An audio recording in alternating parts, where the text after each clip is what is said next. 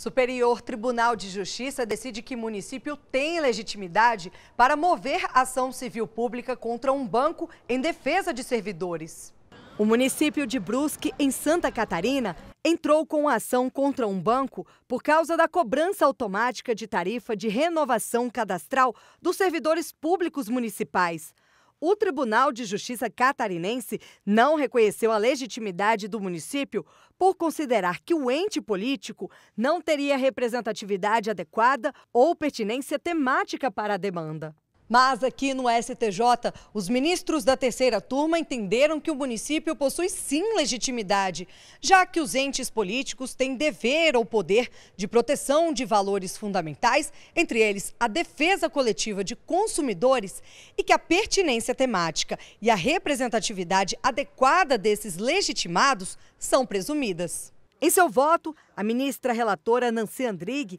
observou que, ainda que a ação esteja relacionada à cobrança da tarifa de renovação de cadastro de servidores municipais, o direito exigido possui dimensão que extrapola os interesses puramente particulares dos servidores em questão. E, segundo a ministra, isso é suficiente para reconhecer a legitimidade do ente político para essa primeira fase da tutela coletiva de interesses individuais homogêneos.